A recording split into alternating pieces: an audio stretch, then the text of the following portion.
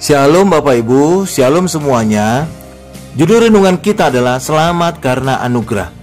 Yesus mengatakan perumpamaan, ada dua orang pergi ke bait Allah untuk berdoa. Yang seorang adalah Farisi dan yang lain pemungut cukai.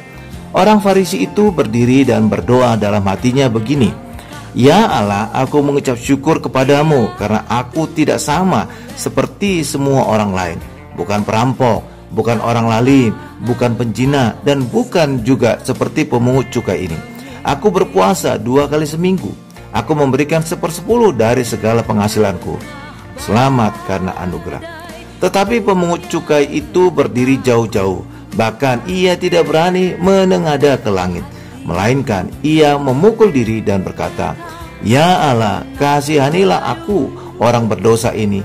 Aku berkata kepadamu, Orang ini pulang ke rumahnya sebagai orang yang dibenarkan Allah dan orang lain itu tidak. Lukas 18 ayat 10 sampai dengan 14. Jika kita melihat perumpamaan ini, maka orang Farisi sangat giat beribadah, sedangkan pemungut cukai tidak. Tetapi Tuhan Yesus membenarkan pemungut cukai itu sebaliknya dengan orang Farisi. Mengapa? Karena orang Farisi itu telah memenuhi dirinya dengan kebenarannya sendiri, sedangkan pemungut cukai kosong, sehingga pemungut cukai bisa dipenuhi kebenaran Allah. Selamat karena anugerah. Hal yang sama terjadi pada Benjamin. Dia tidak mengerjakan apa-apa, justru abang-abangnya yang sangat giat. Benyamin punya ibu yang sama dengan Yusuf, yaitu Rahel. Dan itu adalah gambaran anugerah dan ia diberkati lima kali lipat. Paulus berkata, karena kasih karunia kamu diselamatkan oleh iman. Itu bukan hasil usahamu, tetapi pemberian Allah.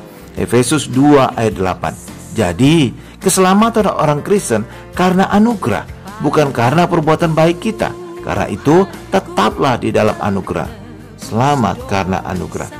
Karena itu bagi kita orang Kristen, mari kita tetap hidup di dalam anugerah Yesus. Sebagai generasi anugerah, kita mengalami berkat yang luar biasa, lima kali lipat lebih besar dari orang lain yang mungkin bekerja lebih keras daripada kita. Kemenangan demi kemenangan akan kita alami di dalam hidup kita. Amin Bapak Ibu. Tuhan Yesus memberkati.